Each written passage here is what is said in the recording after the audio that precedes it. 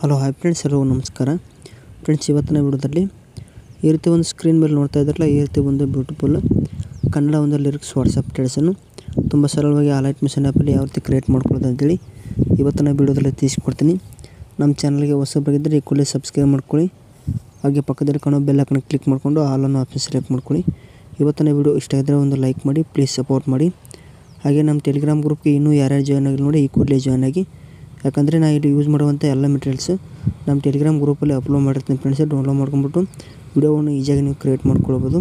ವಿಡಿಯೋವನ್ನು ಸ್ಕಿಪ್ ಮಾಡಿದೆ ಸ್ಟಾರ್ಟಿಂಗಿಂದ ಎಂಡೋರಿಗೆ ನೋಡಿ ಪ್ಲೀಸ್ ಸಪೋರ್ಟ್ ಮಾಡಿ. ಯಾಕಂದರೆ ಫಸ್ಟ್ ಟೈಮ್ ಪ್ರಾಬ್ಲಮ್ ಇದೆ, ವಿಡಿಯೋವನ್ನು ಸ್ಟಾರ್ಟಿಂಗಿಂದ ಎಂಡೋರಿಗೆ ನೋಡಿ ಪ್ಲೀಸ್ ಸಪೋರ್ಟ್ ಮಾಡಿ. ಬನ್ನಿ ಇವತ್ತಿನ ವಿಡಿಯೋವನ್ನು ಯಾವ ರೀತಿ ಎಡಿಟಿಂಗ್ ಮಾಡ್ಕೊಳ್ಳೋದು ಅಂತೇಳಿ ತಿಳಿದುಕೊಳ್ಳೋಣ.